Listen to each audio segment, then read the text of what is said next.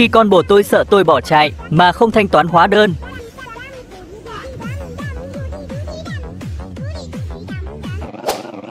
Họ nên treo một tấm biển có nội dung hãy coi chừng con cá.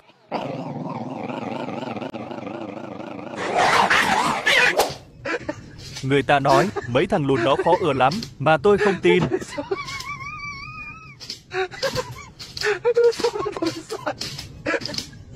Giấy khai sinh làm sao đấu lại giấy kết hôn được.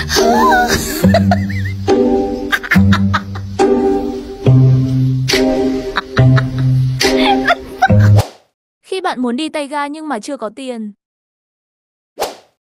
Cái này chỉ áp dụng được với trai đẹp thôi nha.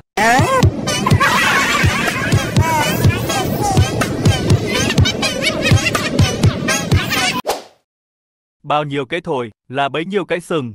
Lương yêu thương tôi, bạn không cắm sừng tôi.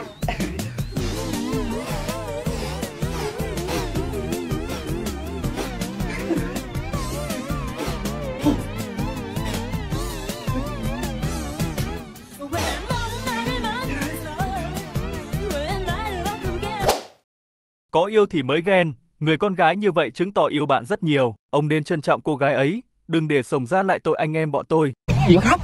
Con khóc? Nói to. Tôi khóc vậy hả? Thôi xin lỗi. Ra rồi. Dạ. Gãy không? Thầy. Thầy thầy. Bà thầy mấy người. Sao đã thầy không ra rồi? Thì kìm cho anh hả? Biết họ chán nhưng không quan tâm.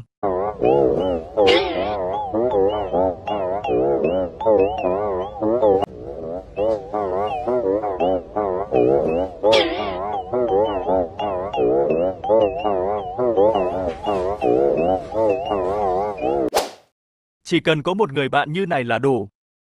Được của nó đấy. Vết nước trên sàn cho thấy cô ấy đã phải quay đi quay lại rất nhiều lần.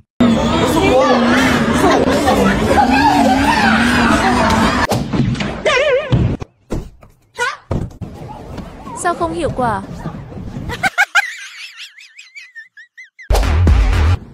Gu thời trang chỉ dành cho những nhà tạo mốt.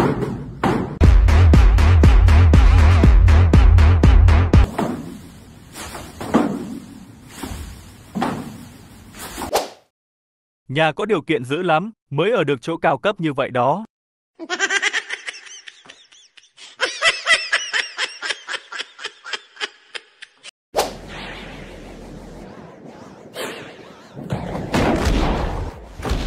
Tay bạn vẫn ổn như trước chứ?